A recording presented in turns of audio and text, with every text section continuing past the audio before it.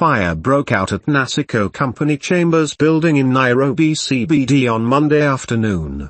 Reports indicated that the fire broke out at one of the shops at the building located near Imenti House but no injuries had been reported by the time of publishing.